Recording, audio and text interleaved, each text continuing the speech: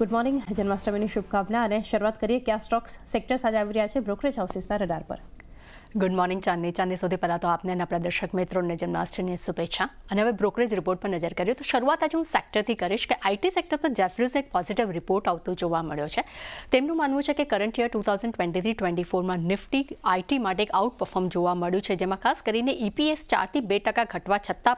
खास कर Nifty large cap company performs out perform रूप है तुम्हें मानव है कम्पेरिजन स्मोल केप आईटी की करी है कि स्मोल कैप आईटी की सरखाम लार्जकेप कंपनी प्रदर्शन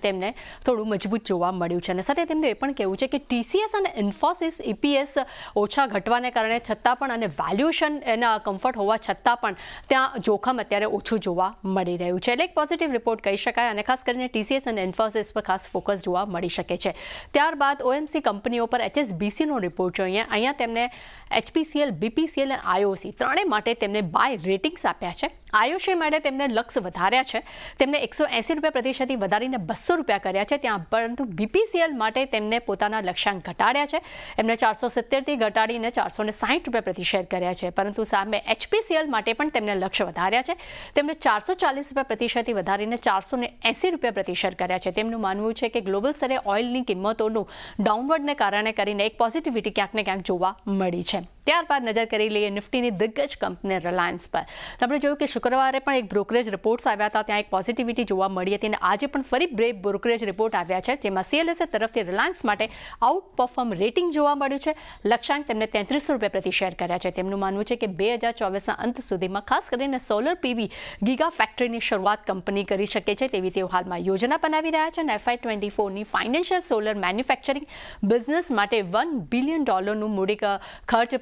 કંપની કરવા જઈ રહી છે એટલે પોઝિટિવ રિપોર્ટિંગ અહીંયા જોવા મળી રહ્યો છે કોટક તરફથી પણ આપણે રિલાન્સ માટે પોઝિટિવ રિપોર્ટ જ આવ્યા છે અહીંયા તેમણે એડ રેટિંગ યથાવત રાખ્યા છે લક્ષ્યાંક તેમણે 3200 રૂપિયા પ્રતિ શેર કર્યા છે તેમનું માનવું છે કે રિટેલ કેપેક્સ માં 50% નો ઘટાડો ધ FI25 ના વાર્ષિક અહેવાલ થી પોઝિટિવ કી તરફ દોરી લઈ રહ્યો છે ત્યાં જ FI24 માં 1 થી 1.2 બિલિયન્સ ડોલર ના રોકાણ સાથે નવી એનર્જીસ માં રોકાણની ગતિ જે થી થોડી ધીમી છે પણ ધીમી ગતિએ રોકાણ વધી રહ્યું છે અને એફઆઈ ટ્વેન્ટી ફાઇવ માટે રિટેલ અને ઓ ટુ સી અર્નિંગ્સમાં વધુ એક મોડરેટ કરતું જોવા મળી રહ્યું છે ત્યારબાદ એક ફાર્મા કંપની પર નજર કરી લે છે જે એમક્યોર ફાર્મા તેના પર જફરસ તરફથી આપણને બાય રેટિંગ્સ જોવા મળ્યા છે અને તેમને યથાવત રાખ્યા છે લક્ષ્યાંક તેમને સોળસો રૂપિયા પ્રતિ શેર કર્યા છે તેમનું માનવું છે કે ડેવલપિંગ કોમ્પ્લેક્સ મોડ્યુલ્સમાં કંપનીની કેમિસ્ટ્રી જે છે તે ખૂબ જ મજબૂત જોવા મળી છે અને ભારત અને કેનેડામાં કંપનીનો ગ્રોથ જે છે તે મજબૂત છે कंपनीઓ દેવ ઘટવાતી કંપનીને ફાયદો પણ થઈ રહ્યો છે ને f124 27 દરમિયાન પ્રોફિટ સિયર જે છે તે 29% પર જોવા મળ્યું છે ત્યાર બાદ નજર કરી લે અપોલો હોસ્પિટલ્સ પર અહીંયા નોમોરા તરફથી આપણે રેટિંગ ડાઉનગ્રેડ થવા થતા જોવા મળ્યા છે